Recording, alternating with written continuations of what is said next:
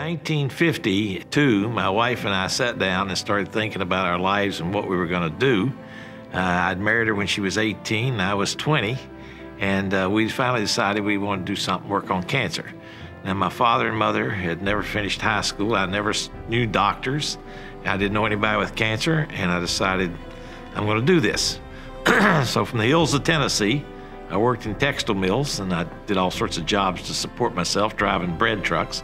And then uh, somebody told me in this big textile mill I should go to Johns Hopkins. I had been rejected to all the graduate schools. So in 1957, I headed to Baltimore, got a job at engineering. Never had a course in engineering, don't ask me how I did that.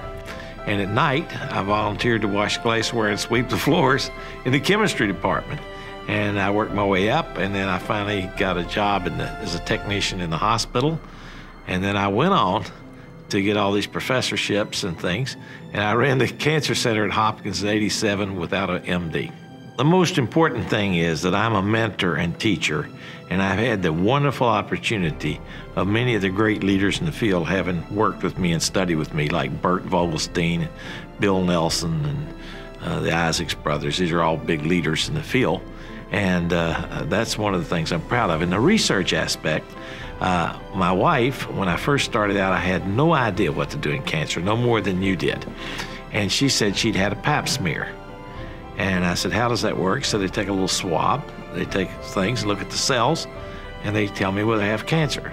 And I said, You can look at one cell and tell me it's cancer? Then I found out that the only person that can tell you you got cancer is a pathologist. And what they're looking at is the shape of the cell. So if you take a Coke can and crunch it, when they see it crunch like that, that means that it's cancer. Variation in shape called pleomorphism. So I said, What causes that? And they said, That's your job. So I said, Okay, I will solve that. And so I spent the next 40 years working on that, and I discovered a structure within the cell that organizes the nucleus and organizes the DNA. In 1998, okay, I was the president of the AACR. Marge Foti spent a long time as the head of this. And so, working with her and, and trying to bring some new frontiers together, what we decided to do was to reach out to the public. And with a lot of people's ideas, we started setting up forums for advocates, people with cancer survivors, and inviting people in to inform the public of what was going on. So we did a lot of TV and things around and a thousand people poured out.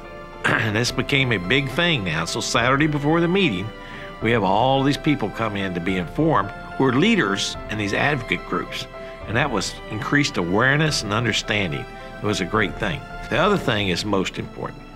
We decided to try to increase funding for cancer.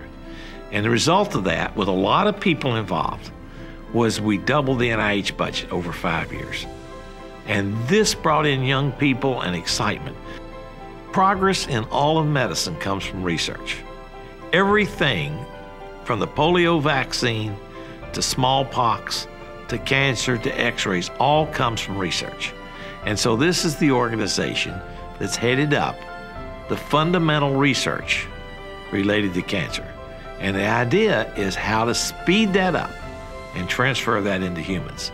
And that's what's going on. It's really an exciting period. And the AACR, the American Association of Cancer Research, has led this thrust.